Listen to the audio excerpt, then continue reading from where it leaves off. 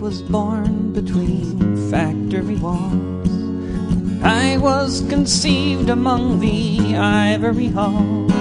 And in this world I knew my role. I went to work with a single goal. I traveled the earth to far off lands. From the Asian jungles to the African sands, I flew in planes of camouflage green before I settled upon this sea.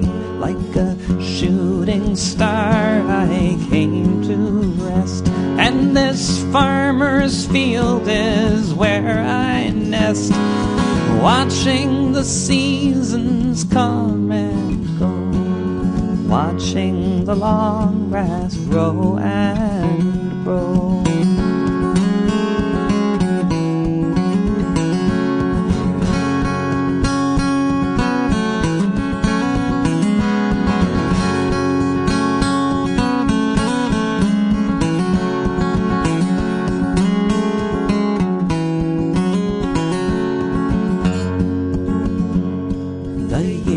passed by and I lay here still.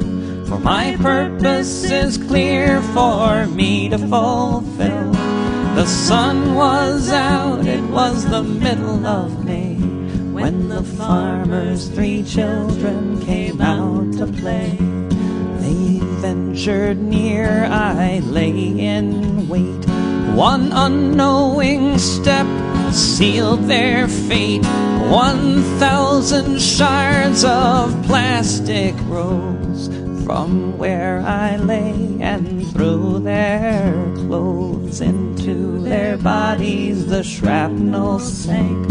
Here in this field by a river bank, the blood poured down, shone in the sun, and one cluster bomblet's job was done.